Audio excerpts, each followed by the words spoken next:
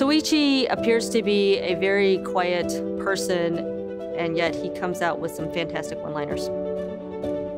Soichi is probably the quietest, but he is probably the funniest as well.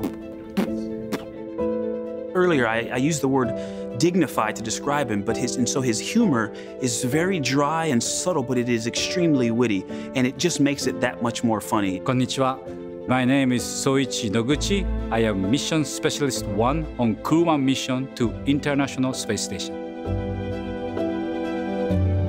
Well, my mission will be uh, uh, help support the commander and the pilot on Crew Dragon. And of course, once I arrive on the space station, I'll be a board engineer and do lots of science and maintenance and uh, spacewalks, robotics, all kinds of work.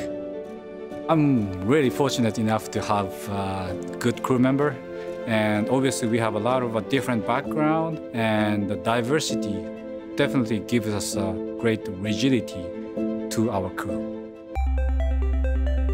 I wanted to be an astronaut for, for a long time. Uh, high school days, uh, I watched the shuttle launch. I studied aerodynamics and uh, uh aerospace engineering.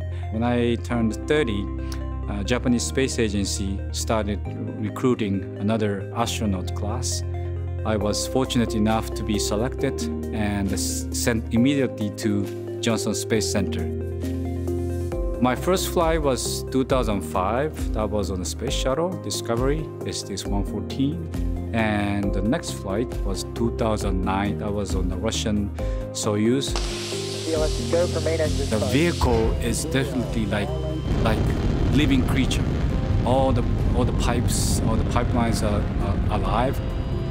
I really remember the morning of the the launch day arrive at the pad, hey, this vehicle is alive and waiting to go up. And liftoff of Space Shuttle Discovery, beginning America's new journey to the moon, Mars, and beyond. I'm really looking forward to go back to that launch day. The Crew 1 is the first operational spaceflight after the certification given by NASA. Important thing is uh, this is brand new, designed from scratch. Uh, 21st century spacecraft. And this is a new design.